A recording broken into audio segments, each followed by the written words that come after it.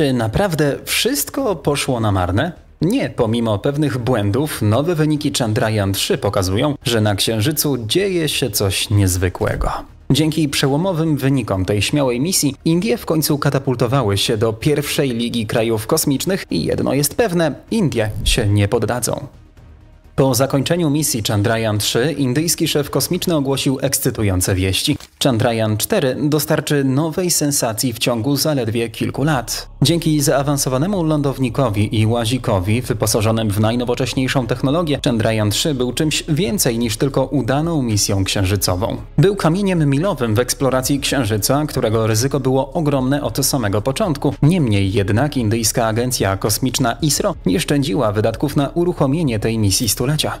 W przypadku Chandrayaan-3 Indie zainwestowały około 31 milionów euro w budowę samych sond i modułu napędowego. ISRO musiało wydać kolejne 46 milionów euro na samą rakietę nośną i to wszystko po to, by być może zbankrutować? Tak, ale Hindusi wiedzieli co robią. Nawet po porażce Chandrayaan-2, w której utracono wszystkie sondy poza orbiterem, Indie nie wahały się przed kolejną próbą i wydaniem milionów. Chandrayaan-3 został wystrzelony 14 lipca 2023 z centrum kosmicznego Satish Dhawan z ambitnym celem wykonania miękkiego lądowania na południowym biegunie Księżyca po raz pierwszy, coś czego żaden inny naród nie odważył się zrobić przed Indiami. Nawet NASA nie odwiedziła bieguna południowego, mimo że pilnie potrzebujemy dowiedzieć się więcej o tym ważnym regionie. Na biegunach naukowcy podejrzewają największe złoża wody na satelicie Ziemi, a jeżeli chcemy osiedlić się na Księżycu, musimy wiedzieć, gdzie jest woda. Pozostałości orbitera Chandrayaan-2 koordynowały łagodne lądowanie stacjonarnej sondy badawczej Vikram i łazika Pragyan z orbity księżycowej. W sierpniu nie tylko miliony Hindusów wstrzymały oddech, ale entuzjaści kosmosu na całym świecie z niecierpliwością czekali na historyczne lądowanie. Vikram i Pragyan święto technologii. Brzmi to niemal zbyt szalenie, by mogło być prawdziwe, ale choć Indie wciąż są stosunkowo nowe w eksploracji kosmosu, zaawansowanie techniczne dwóch sond Chandrayaan-3 jest oszałamiające. Chandrayaan-3 powinna odkryć tajemnice Księżyca, które powinny przynieść korzyści całej społeczności międzynarodowej. Większa wiedza na temat południowego bieguna Księżyca nie tylko przyniosłaby ISRO narodowe laury, ale także zacieśniłaby współpracę z naukowcami z reszty świata. W tym samym czasie co Indie, Rosja planowała bardzo podobny projekt. Luna 25 również miała wykonać miękkie lądowanie na biegunie południowym, ale misja zakończyła się niepowodzeniem. Rosyjskie sondy rozbiły się kilka dni przed lądowaniem Chandrayaan-3 na Księżycu. Główna sonda początkowo składała się z trzech głównych komponentów: modułu napędowego, lądownika i łazika. Moduł miał przenieść lądownik z orbity ziemskiej na orbitę księżycową i był największą częścią misji. Do wyniesienia ponad 2 ton w kosmos potrzebna była rakieta GSLV MK-3. Start przebiegł perfekcyjnie, a misja została bezpiecznie wystrzelona z orbity około 150 km nad powierzchnią Ziemi. Wyposażone w główny silnik i wysuwane skrzydło z ogniwami słonecznymi, trio wyruszyło w podróż na Księżyc. Lądownik i łazik były z grubsza identyczne z sondami poprzedniej misji Chandrayaan-2. Vikram, stacjonarna stacja pomiarowa, otrzymała drobne ulepszenia w postaci jeszcze lepszych nóg do lądowania i była oczywiście wyposażona tylko w najnowsze instrumenty.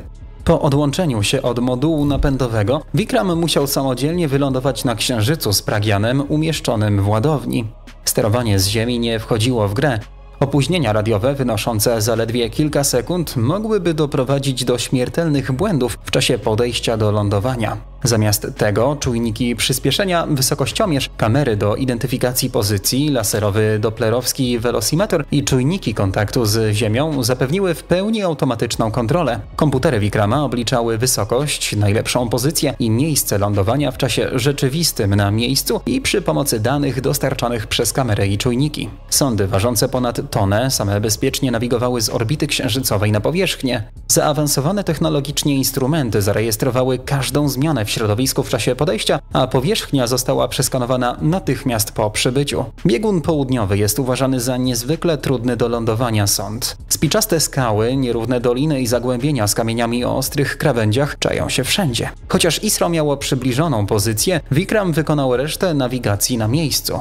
Cztery w pełni zautomatyzowane koła rekreacyjne i cztery sterowane pędniki główne zapewniły miękkie lądowanie, które wyhamowało w odpowiednim czasie dzięki doskonale obliczonym siłom przeciwdziałającym ciągowi. Dla Indii całe zejście obu statków było nie lada wyzwaniem, a w ich umysłach pojawiły się obrazy katastrofy Łuny 25, ale potem nadeszła nieokiełznana radość. Telewizja transmitowała na żywo w całym kraju, a miliony Hindusów wiwatowały, gdy Vikram i Pragyan bezpiecznie wylądowali na powierzchni Księżyca. Czy można sobie wyobrazić podekscytowanie, jakie towarzyszyło oglądaniu pierwszych kroków tej dwójki na Księżycu? Dla Indii to musiało być trochę tak, jak wtedy, gdy Neil Armstrong i Buzz Aldrin po raz pierwszy postawili stopę na Księżycu.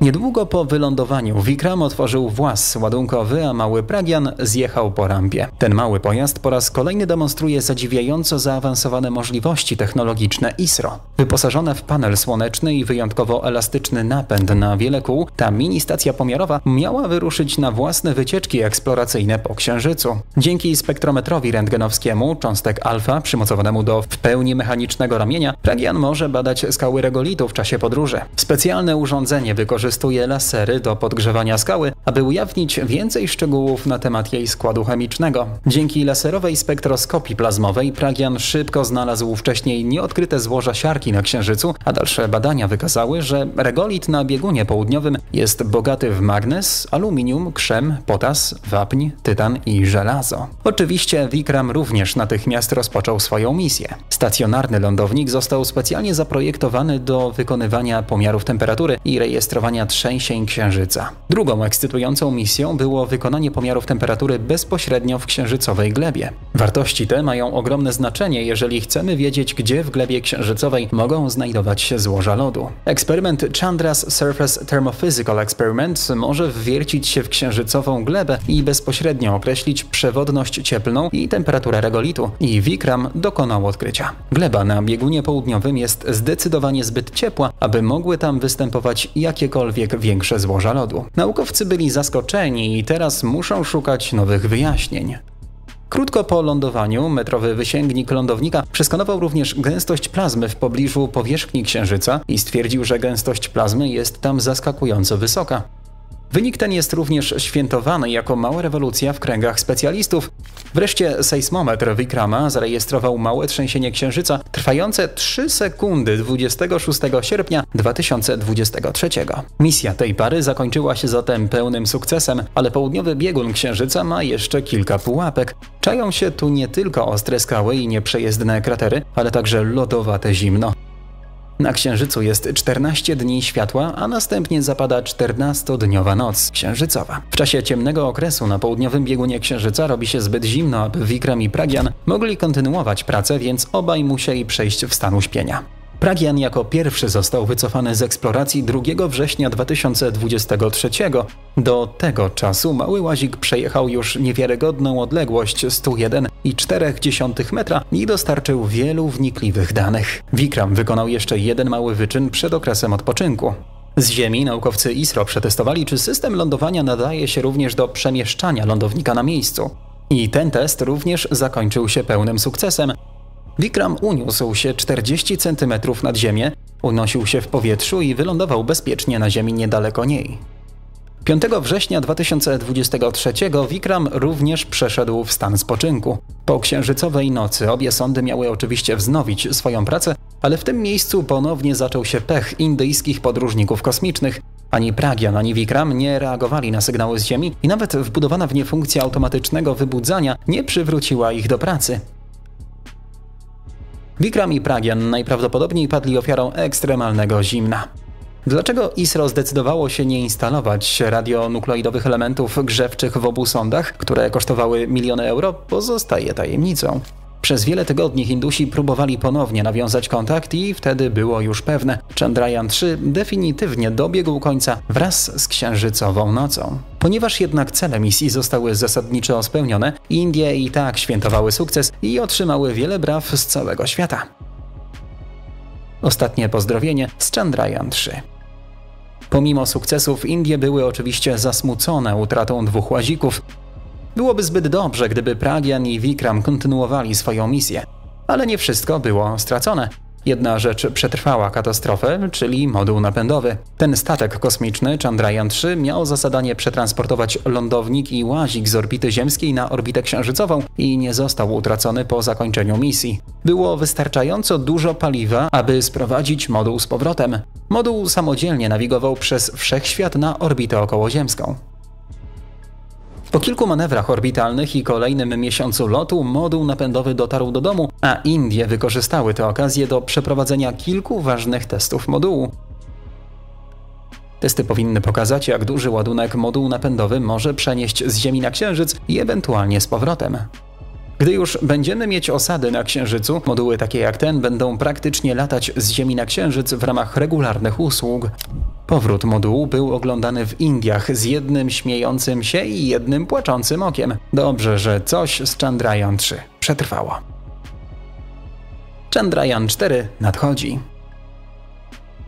Kto by pomyślał, wkrótce po tym, jak Indie oficjalnie ogłosiły udany powrót modułu napędowego, dyrektor Centrum Aplikacji Kosmicznych Nileshem Desai ogłosił szczegółowe plany Indii dotyczące Chandrayaan 4 17 listopada 2023. Celem oczywiście jest zwrócenie na Ziemię obszernych próbek księżycowych. Start zaplanowano na 2027 i tym razem Indie wyślą na Księżyc kilka modułów w kolejnej spektakularnej misji. Lądownik księżycowy pobierze próbki gleby i prawdopodobnie będzie stacją pomiarową podobną do Vikram. Następnie planowany lądownik księżycowy ma zostać wystrzelony na orbitę księżycową. Wyrzutnia dla tego wyczynu będzie zintegrowana bezpośrednio z lądownikiem, a w przestrzeni kosmicznej moduł transferowy pobierze próbki z modułu księżycowego i odleci z powrotem na Ziemię. Cała seria transportowa mogłaby zostać zaprojektowana jako zrównoważony projekt i po udanej misji przewieźć na Ziemię znacznie więcej próbek gleby z księżyca. Subskrybuj kanał już teraz, bo w przyszłości będzie tu więcej filmów.